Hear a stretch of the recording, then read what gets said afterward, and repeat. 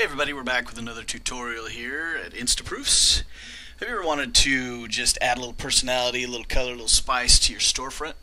Well, today we're going to show you how to do that, show you some options that you have that uh, you can kick up some some fun on your on your storefront.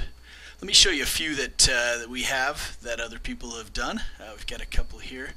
Uh, this one they've got a great big logo here. They've moved the uh, links in a little bit. Got some nice color there.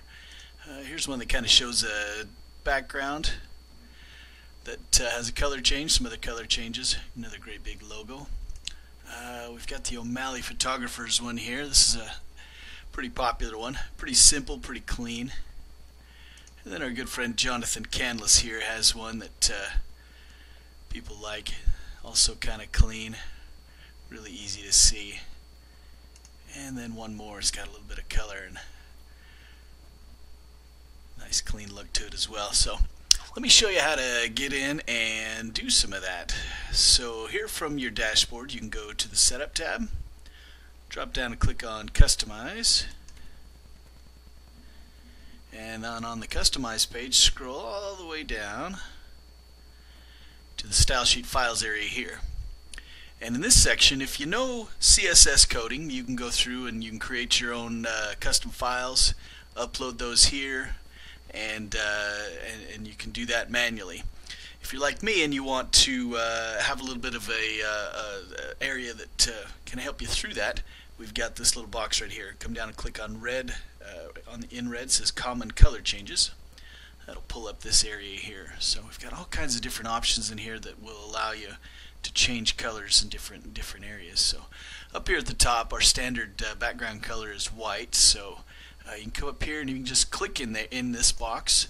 That'll bring up a dialog box here with the different colors. So let's pick something in the purplish range here, and then just clicking out here will save that.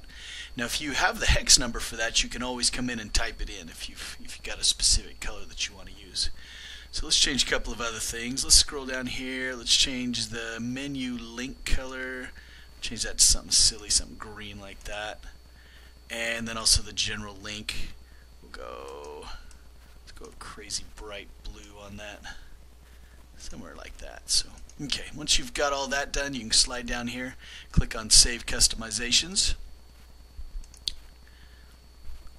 Basically what that'll do, that'll create a file here called store.css and uh, that's the file that our system looks to, to to find any changes on your storefront. So let's go to my storefront that we changed here. Here's uh, what we generally look like just uh, by default and let's refresh that and see what changes I made. Oh, there's that ugly pinky purple looking. And uh, we changed the color of this up here. And we also changed these links here to blue. So it's kind of hard on the eyes. So let's jump off of that page there. so um, if you've got other things that aren't in our list that you would like to have done, uh, we can do some uh, customizing for you. And to do that, uh, in your over here on the left in your tabs, just come to the Store tab and click on CSS customizations. And then we've got a list here of the free ones that we offer, uh, and those are all listed in the in the dialog that I showed you earlier. And then we've got a list of advanced customizations here.